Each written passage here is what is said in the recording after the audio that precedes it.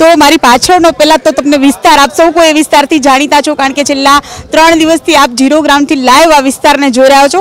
એ વિસ્તારની અંદર ખૂબ જ પાણી જે છે ભરાય છે. ભદ્રકાલી મેઇન ચોક જે છે કે જ્યાંથી ખાસ દ્વારકાની અંદર વાહન વ્યવહાર, નેશનલ બેન્કો, હોટલ, રેસ્ટોરન્ટ ઘણું બધું જે છે એ આ વિસ્તારની અંદર આવેલો છે. તો આ વિસ્તાર ખૂબ મહત્ત્વનો દ્વારકા માટેનો વિસ્તાર હોય, જે પાણીના ભરાવથી લગભગ ચાર પાંચ દિવસ માટે સદંતર બંધ થઈ જાય છે. વિસ્તારની આસપાસના લોકોને લાખોનું નુકસાન થાય છે. વિસ્તાર દ્વારા જે છે, ખાસ આજે કલેક્ટરશ્રી દ્વારા રજૂઆત કરવામાં આવી. તો આપે શું રજૂઆત કરી અને શું રિસ્પોન્સ રહ્યો કલેક્ટરશ્રીનો જય દ્વારકાધીશ. હું રમણભાઈ સામાણી, પ્ર- પ્રમુખ ચેમ્બર ઓફ કોમર્સ.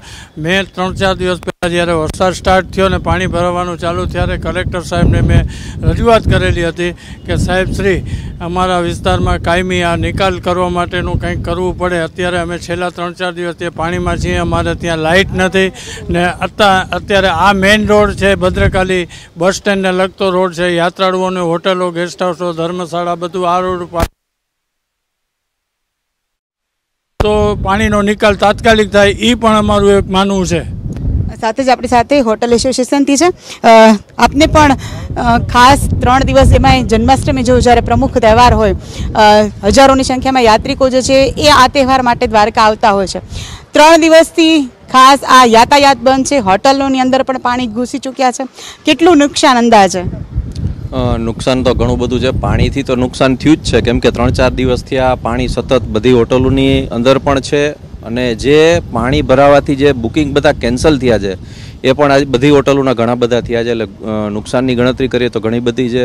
બીજા નંબરમાં પાણી ભરાવાના હિસાબે જે જીબીના કંઈ ટેકનિકલ પ્રોબ્લમ પ્રોબ્લમને હિસાબે પાણી ભરાવાથી જે લાઇટ કટ થાય છે એ કટ થવાથી પણ જે જનરેટર બધા ચલાવે છે, એ પણ મોટું નુકસાન છે.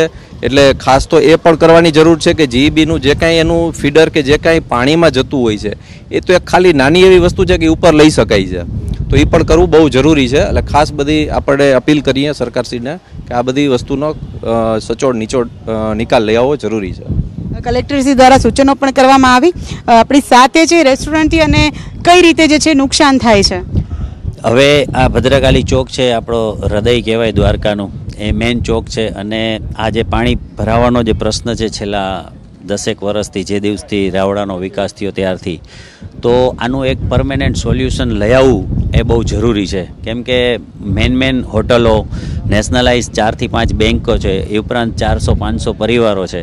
એ બધા જનું આખું ડિસ્ટર્બ થઈ ગયું છે. બિઝનેસનો લોસ ગયો છે. ઉપરાંત ઘણી બધી દુકાનની અંદર નુકસાની ગઈ છે.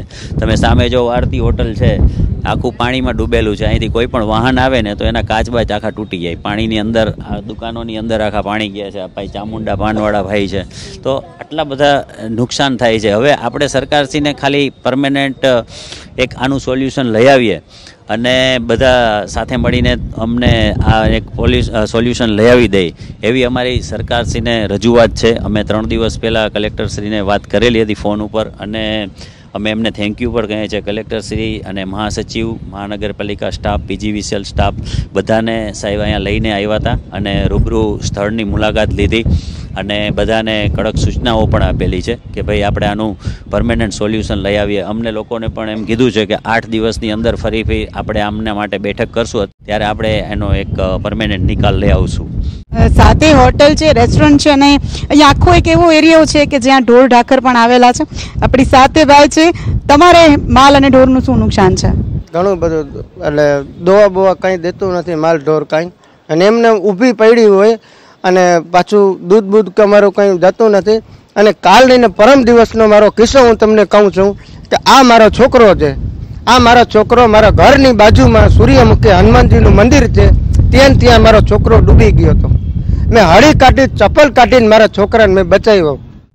દ્વારકાધીશ કરે અને બધાને જેમ બને એમ કંઈ સારા કામ કરે ને ભદ્રકાલી ચોકમાં અમારે પાણી ન, જેમ બને ભરાવું ન જોઈએ.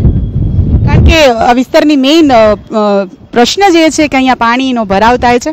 પાણી ભરાય છે પછી પાણીનો જલ્દીથી નિકાલ નથી થતો, એ સૌથી મોટો પ્રશ્ન છે. એટલે હાલ વિસ્તારના લોકોએ રજૂઆત કરી છે સરકારશ્રી પાસે. સરકારશ્રીએ અગત્યની સૂચનાઓ પણ જે છે ખાતાઓને આપી છે, પણ આ સૂચનાઓ ઉપર જલ્દીથી જલ્દી અમલ થાય અને આવતા વર્ષે આ વિસ્તારને આ પ્રશ્ન ન સાંભળવો પડે, ન કહેવો પડે, એવી લોકોની રજૂઆત છે, લોકોની માંગ છે. ઓમ થોપાણી સાથે વૃંદા પાડિયા, સૌને જય દ્વારકાધીશ.